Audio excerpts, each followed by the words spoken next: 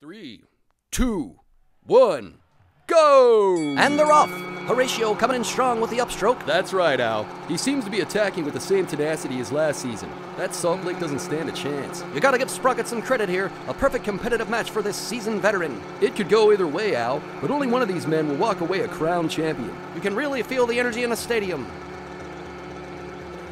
Beer commercial. Duh, me make drinky beer. Mmm, Tatum good. Go buy. Me make drinky beer, mmm. Tatum good, go buy.